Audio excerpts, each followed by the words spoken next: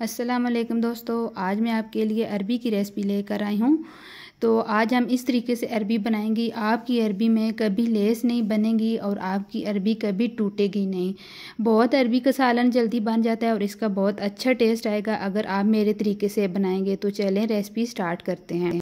तो हमें चाहिए एक प्रेशर तो आज हम जो अरबी का सालन बना रहे हैं प्रेशर में बना रहे हैं तो मैं आपके साथ ये भी शेयर करूँगी कि आज हम अरबी जो है वो प्रेशर में क्यों बना रहे हैं और प्रेशर में बनाने के कितने फ़ायदे हैं।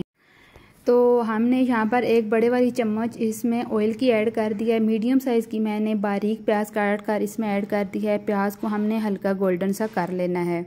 यहाँ पर प्याज जो है अच्छी तरह गोल्डन हो गई है तो यहाँ पर मैंने इसमें अरबी ऐड कर देनी है। अरबी का मैंने छिलका उतार कर अच्छी तरह अरबी को मैंने धो लिया था। धो लेने के बाद जब अरबियाँ खुश्क हो गई थी तो उसके बाद मैंने इनको काट लिया था। मैंने इनको दरमियाने साइज़ का काट लिया है। आप अपनी मर्ज़ी के मुताबिक अरबी की कटिंग कर सकते हैं। अरबी को हमने अच्छी तरह ऑयल में फ्राई कर लेना है। एक मीडियम साइज़ की मैंने टमाटर काट लिया, वो इसमें ऐड करेंगे। जितनी अच्छी हमारी अरबियाँ प्याज के साथ ऑयल में फ्राई होंगी, इतनी हमारी अच्छी जो है रेसिपी बनकर तैयार होगी।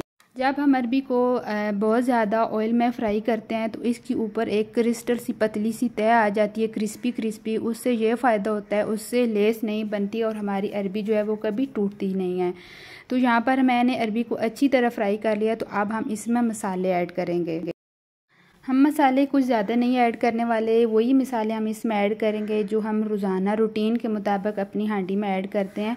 धनिया मैंने ऐड किया है, लाल मिर्च का पाउडर ऐड किया और हल्दी ऐड करेंगे। आपने सारे मसाले अपने टेस्ट के मुताबिक इसमें ऐड करने हैं और नमक मैंने ऐड कर दिया है।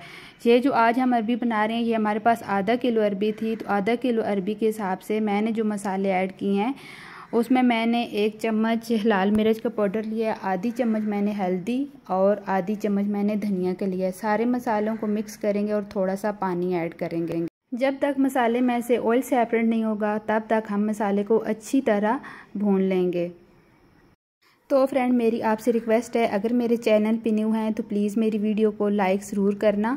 तो यहाँ पर अच्छी तरह हमने मसाले को अरबी के साथ भून लिया ऑयल भी सेपरेट हो गया तो यहाँ पर इसमें हम पानी ऐड करेंगे। पानी हमने हंस पर ज़रूरत ऐड करना है और कवर कर देंगे। प्रेशर में अरबी जो हम बनाते हैं, उसका हमें यह फ़ायदा होता है। इसमें से एक तो ऑयल बहुत जल्दी सेपरेट हो जाता है और इसमें लेस नहीं बनती। और जब हम अरबी को प्रेशर के बगैर बनाते हैं तो इसमें वो थोड़ा थोड़ा दूध की तरह वो जो शोरबा होता है, वो हो जाता है। तो इसलिए आज हमने प्रेशर में अरबी को बनाया है तो आज मैं आपको डिश आउट करके दिखाती हूँ।